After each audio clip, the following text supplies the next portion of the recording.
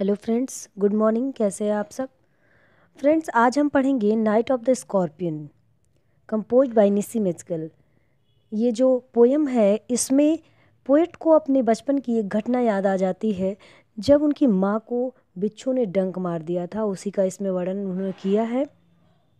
चलिए इसको पढ़ते हैं। आई रिमेंबर द नाइट मतलब मुझे याद है वो रात। My mother was stung by scorpion जब मेरी माँ को एक बिच्छू ने डंक मार दिया था।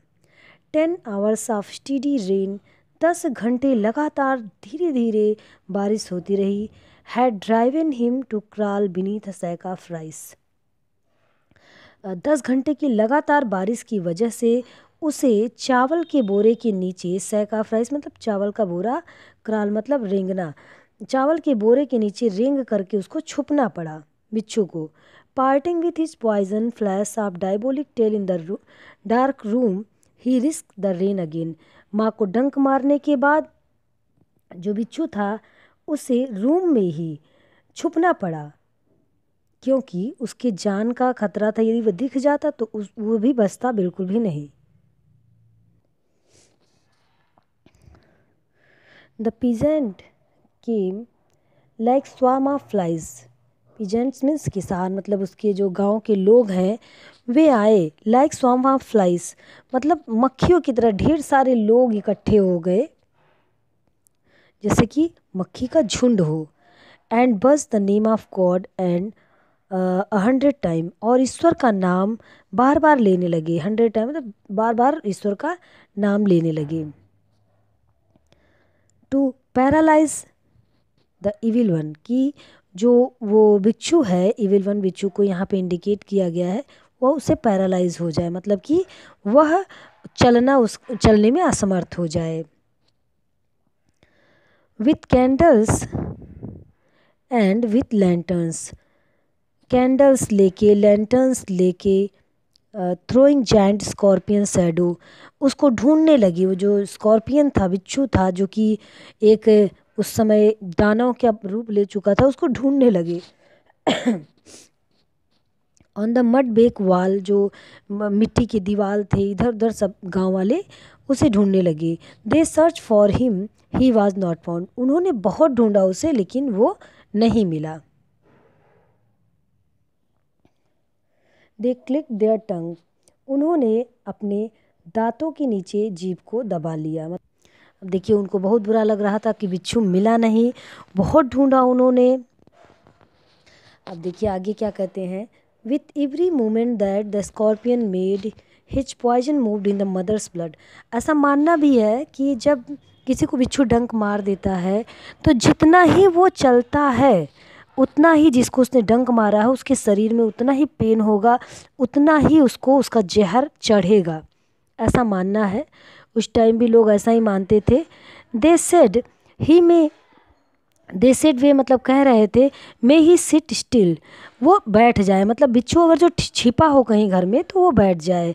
They said may the sins of your previous birth अब वे मेरी माँ को सांत्वना दे रहे थे, गाँव के जो लोग थे। देखिए कैसी कैसी बातें होती हैं गाँव में। इसके माध्यम से पोइट ने बताया है कि लोग कहते हैं, जो गाँव के लोग माँ को देखने आए थे, ढेर सारे लोग, उनके पास बैठ के उनको सांत्वना दे रहे हैं कि may the sin of your previous birth तुम्हारे पूर्व जन्म के जो सेंस हैं मतलब पाप हैं जो be burn away tonight वो सब आज ख़त्म हो जाएँगे, वो सब जल जाएँगे। दे सेड वे कहते हैं may your suffering decrease the misfortune of your next birth ये जो तुम कष्ट सह रही हो, इससे तुम्हारे ये जो कष्ट सह रही बिच्छू के डंक की जो पीड़ा सह रही हो इससे तुम्हारे जो है अगले जन्म के जो मिसफॉर्च्यून है, वो कम हो जाएँगे, ऐसा गाँव वाले लोग कहते हैं। देखिए क्या कहते हैं। मीन सम ऑफ़ आलिविल्स मतलब तुम्हारे जो कुछ पाप वगैरह हैं, बुरा, कमियाँ हैं balance in this unreal world इस अनरियल वर्ल्ड में वो बैलेंस हो जाएँगे against the sum of good अच्छाइयों की अपेक्षा। जो अच्छाई है और जो बुराई हैं, उसमें यदि बुराइयाँ हैं तो बुराइयाँ तुम्हारी कट जाएँगी। Become diminished by your pain जो तुम्हारा दर्द है, वो तुम्हारी बुराइयों को कम कर देगा। तुम्हारे जो पाप हैं, उसको घटा देगा। May the poison purify your flesh और ये जो पॉइजन है जो तुम्हारे शरीर में बिच्छू के द्वारा गया है ये तुमको शुद्ध कर देगा। ऐसा गाँव वाले माँ को सांत्वना देते हैं कि तुमको प्योरीफाई कर देगा तुम्हारे फ्लैश को मतलब तुम्हारे शरीर के, शरीर को फ्लैश मीन्स मांस होता है मतलब तुम्हारी बॉडी को जो है पवित्र कर देगा। फ्लैश ऑफ़ डिज़ायर मतलब तुम्हारी जो फ़िज़िकल डिज़ायर है, उसको प्योरीफाई कर देगा। And your spirit of ambition they said और तुम्हारी जो इच्छाएँ हैं, उन, वे मतलब कहते हैं गाँव वाले एंड दे सेट अराउंड और चारों तरफ़ वे बैठ जाते हैं। On the floor with my mother मेरी माँ के साथ जो है, बैठ जाते हैं। Mother in the centre centre में माँ बैठी है। गाँव में देखिए, एकता भी पहले रहती थी बहुत अधिक। किसी को कोई भी कष्ट पड़ता था तो लोग इकट्ठे हो जाते थे, लेकिन अब ऐसा नहीं है। अब लोग अपने में अधिक व्यस्त हो गए हैं। The peace of understanding on each face सबके चेहरे पे। एक पीस दिखती है मतलब शांति दिखती है, समझदारी की अंडरस्टैंडिंग की। सबके चेहरे पे शांति दिखती है। मोर कैंडल्स मोर लेंटर्स मोर नेबर और बहुत मतलब कैंडल्स हैं लेंटर्स हैं, पड़ोसी हैं, सब हैं। More insects and endless rain कीड़े, मकोड़े और इंडलेस रेन और लगातार बारिश हुए जा रही है। उस रात को, जिस रात को बिच्छू ने मेरी माँ को डंक मारा था, उस रात को बहुत अधिक बारिश हुई। My mother twist through and through मेरी माँ जो है ट्विस्ट कर रही है, ऐठ रही है। Groaning on the mat mat पे बैठ के कराह रही है दर्द से। माई फादर सेप्टिक रेशनलिस्ट मेरे जो पिता हैं, वो इन सब बातों पे विश्वास नहीं करते हैं। अविश्वासी हैं इन सब बातों पे जो लोग कह रहे हैं कि इससे तुम्हारी जो पाप है, सिन है, वो कम हो जाएँगे और तुम्हारे पूर्व जन्म में तुम्हारी बॉडी जो है पवित्र हो जाएगी। इसमें इस सब में मेरे पिताजी विश्वास नहीं करते हैं। रेशनलिस्ट वो तर्कवादी हैं। रेशनलिस्ट में मतलब तर्कवादी सेप्टिक मतलब अविश्वासी मतलब इन सब बातों में अविश्वास करते हैं और वो तर्कवादी हैं। Trying every curse and blessing powder mixture herb and hybrid उन्होंने इन सब बातों पे विश्वास नहीं करते, इसलिए उन्होंने एक मिक्सचर बनाया हर्ब्स का। हर्ब्स का मिश्रण बनाया उन्होंने हर्ब्स जो है जड़ी बूटियों का मिश्रण बनाया। He even poured a little paraffin और उन्होंने थोड़ा सा केरोसिन ऑयल मतलब थोड़ा सा मिट्टी का तेल जो है, डाला उन्होंने अपान द बिटन टो जहाँ पे जिस टो पे उसे बिच्छू ने डंक मारा था, उस पर पिताजी ने थोड़ा सा ऑयल डाल दिया kerosene and put a match to it और उस पर आग लगा दी मतलब जरा सा उसमें माचिस लगा दिया। I was the flame feeding on my mother मैं देख रहा था, ये बचपन की घटना है तो राइटर बता रहा है कि मैं देख रहा था किस तरीके से मेरे माँ की जो उंगली थी जिस पर बिच्छू ने डंक मारा था, वो जलने लगी। I was the holy man perform his rites and the tame the poison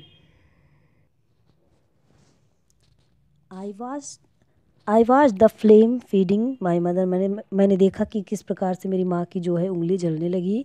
I watch the holy man performed his rites to tame the poison with an incantation और मैं देख रहा था कि किस प्रकार से कुछ लोग होली मैन मतलब पवित्र लोग, जैसे कि देखिए अभी भी होता है ऐसा कि बिच्छू डंक मार दे तो उसको झाड़ने फूकने वाले भी लोग होते हैं। उन्हीं की बात कर रहा है यहाँ पे पोएट कि मैंने देखा कि कुछ होली मैन जो है perform his rites the tame the poison with incantation मंत्र के उच्चारण के द्वारा पॉइजन जो है उसको कम करने की कोशिश कर रहे थे।